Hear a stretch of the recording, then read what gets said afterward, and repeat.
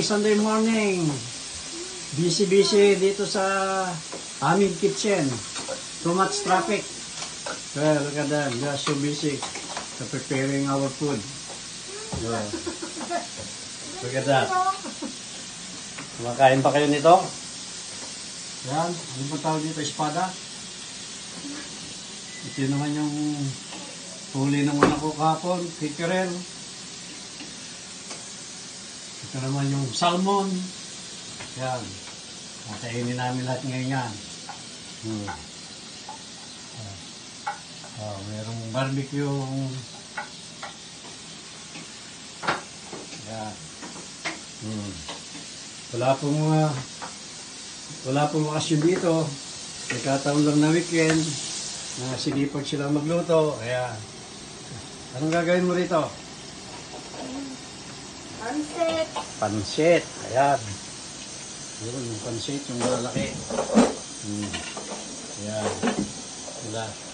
Tingnan niya ulit, tingnan natin kung paano lutuin yan. Ito na po ang ating pansit. Gisa-gisa ng Ricardo. Ayan. Gisa-gisa ng Ricardo.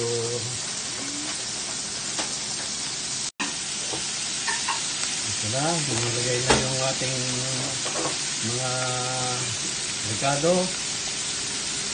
Butchoy. Ano yan? Choy. Butchoy, ano ba? Ano ba yan? Pichay. Oh, pichay. Saka Saka celery. celery, carrots, yan. Itimpla ng kaunting uh, uh, toyo. Sauce. Yan. Dito pang uh, Facebook. Wala, pang-ipan lang yan. Ang oras po natin ay alauna na. Nagluluto pa. Hindi pa nakakapagtanghalian.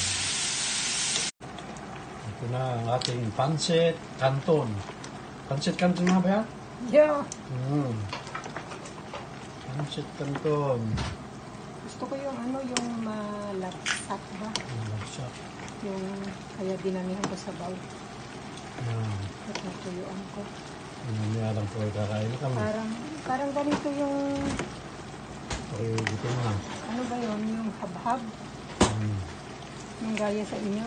Oh, lagay mo lang sa dahon yan. Di, pancit habab na ang tawag. Ayan. Ito na yung Ito na ang ating pancit habhab. pansit. Ano ba? Hmm. pansit ah, kanton. Pansit na malalaki. Ayan. Hmm. Pansit na malalaki. Hahalo na. na natin. Hindi ko na maintindihan ang kakainin ngayon. Meron pang gulay na upo. Na- Nagkikrip ako nito eh. May pritong pickerel.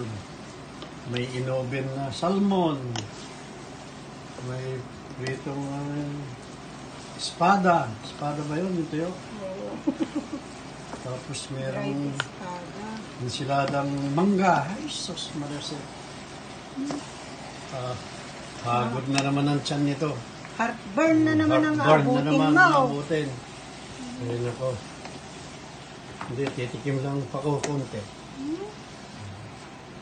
Ano siya? Atyan. Siya? Huwag na kayo maghain na. Okay, hain ka na. Takoy, gutom na rin. Alauna na eh. Okay.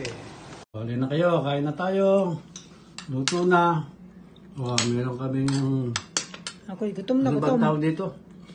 Uh, Sutanghon with upo. tanghon, and shrimp. upo, Sabaw. salmon. Ayan, may sausawan na kan. Ito yung pickle na bagong huli. Asos may mangga tayo. Ayan. Ito naman yung tuyo nga kan. Ang tawag dito, espada. Hmm. Ulit-ulit. Dito kaming dalawa.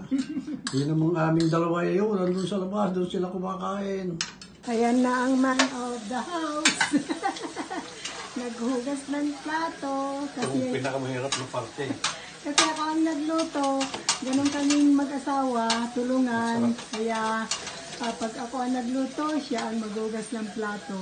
Pag ako naman ang nag, pag siya naman ang nagluto, ako maghugas ng plato. Kaya yan, ayan, magdami. Sarap Ay, na sarap ako magkain kanina. kami, ang dami-dami. Ito, ang buhay. Ah, gagalingan mo ha. Kailangan na malinis yan, makintab. okay guys. Ah, ganyan ang buhay namin mga seniors dito sa Canada. Okay guys, until next uh, vlog. Thank you so much for watching. Dami